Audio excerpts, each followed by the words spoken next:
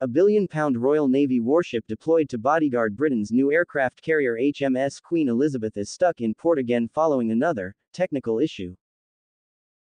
Citing from the news website, HMS Diamond has been forced to cut short its participations to celebrate the 50th anniversary of the Five Power Defense Agreements FPDA in Singapore after being hit with another fault on Monday. Speaking of the latest technical woe to blight the state of the art destroyer, a spokesman for the Royal Navy told Shepherd News Agency, owing to technical issues, HMS Diamond was unable to participate in the final day of Exercise Bersama Gold.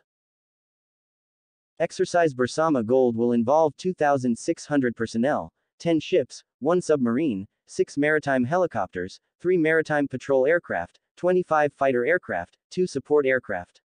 HMS Diamond was the only Royal Navy warship understood to be earmarked to join the exercise, which features contributions from Australia, Malaysia, New Zealand, Singapore, who form part of the FPDA with the United Kingdom.